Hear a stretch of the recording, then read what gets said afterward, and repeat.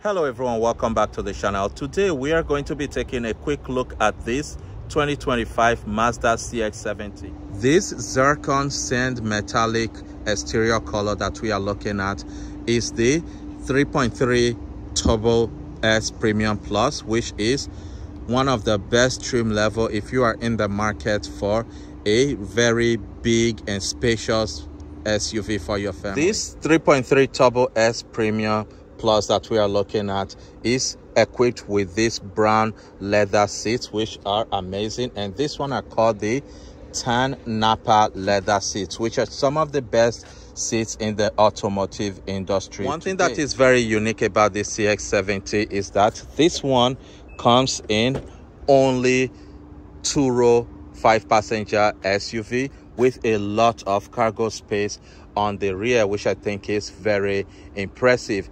And what Mazda have done is that they came out with the Mazda CX-90 this year also. Because you get only 39.6 cubic feet behind the third row seat in the CX-90 when you but fold you... the third row seat down in the CX-90 you get about 75.3 cubic feet which is the same cargo space that you get in the this new Mazda CX-70 which I think is very impressive because sometimes people only a small family and they don't need the third row seat. So i think mazda introducing this cx70 is a really great idea for people who don't need the third row seat but also need an suv that is roomy and spacious. This 3.3 turbo s premium plus is powered by mazda's new 3.3 turbo inline six engine that is paired with an eight speed automatic transmission.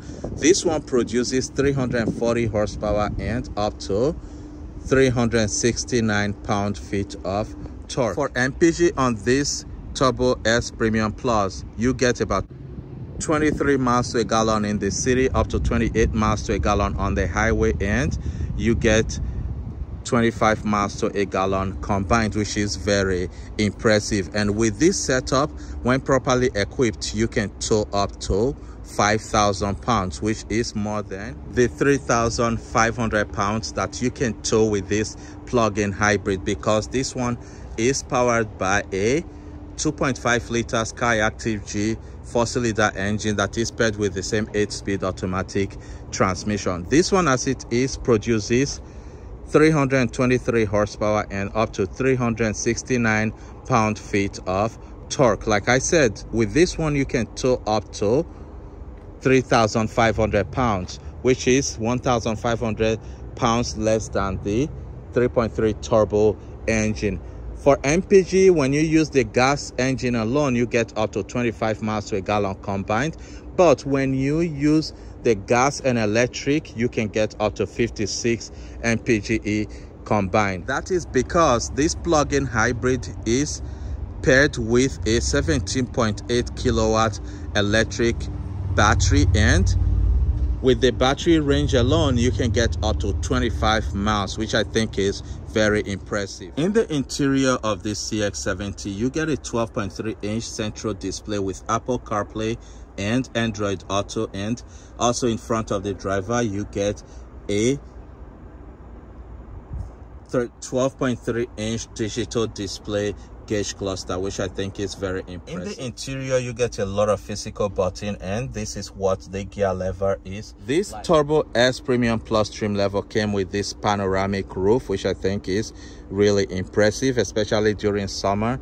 If you drive a lot you can actually enjoy this panoramic one impressive thing that i cannot forget about this cx 70 is that you get a lot of leg room inside this suv on the front you get this newly redesigned grille and on the grille you get this led light that is integrated into it and you get more led headlights and daytime running light this cx70 that we are looking at which is the 3.3 turbo s premium plus this is equipped with this 21 inch wheels which look amazing one really cool thing is that this one has a body color matching fender flare when you but, come over to the lower trim level you get this black plastic fender flare. On the bottom also, you get this part that matches the color. But when you come over to the lower trim level, this is what the bottom is like. So what do you think about this 2025 Mazda CX-70? Do you think you will buy this Mazda CX-70 or you will buy the Mazda CX-90 which has the third row? Please leave your comment in the comment section if you are new to my channel. Please subscribe, like and share this video so that when I post future videos like this, you will be among the first to see my videos. Thank you and I will see you next time.